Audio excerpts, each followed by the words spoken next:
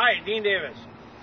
Hey, you know, with advertising, if you want to see results, you want to know what works, number one, talk to my friend Natasha at Channel 10. Number two, my best suggestion is do your own damn commercials.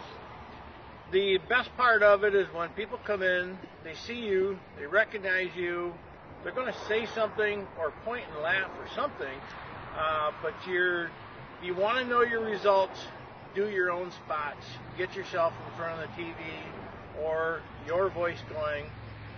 You'll know better than anything else. That's my suggestion.